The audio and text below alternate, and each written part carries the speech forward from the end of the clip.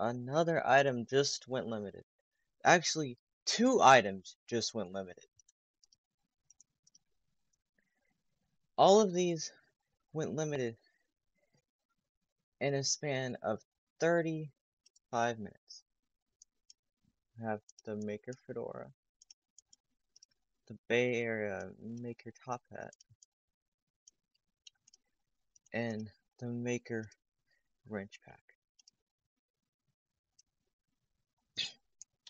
Pretty amazing how Roblox just made three things limited in a span of 30 minutes.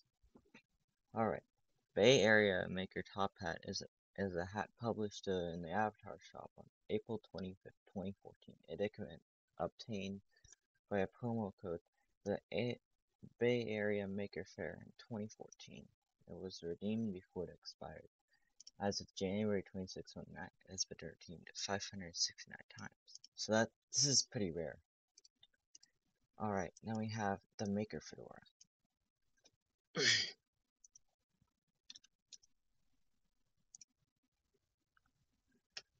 Um, it was published on May 10, 2013, and distributed to weird thing it was distributed 45 years. It attended the Roblox booth at the Maker Bay Area Fair 2013, and went on sale for 750 Robux for two days after VirtualCon BloxCon as of February 13, 2017, it has been purchased 133 times and favorited 177 times. So these are pretty rare items.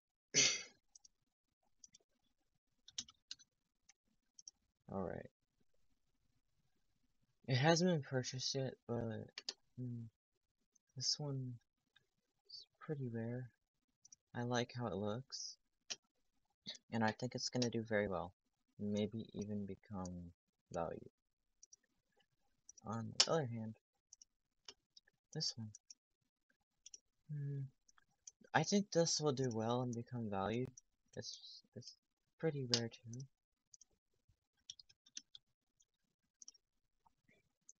Selling for 1 million.